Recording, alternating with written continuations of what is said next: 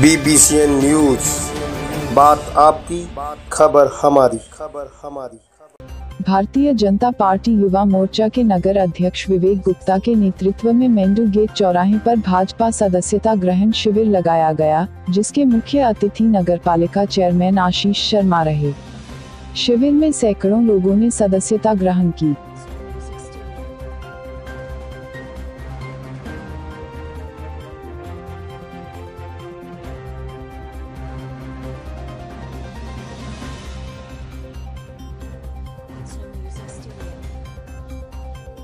Bharatiya Janata party का सदस्यता अभियान चल रहा है।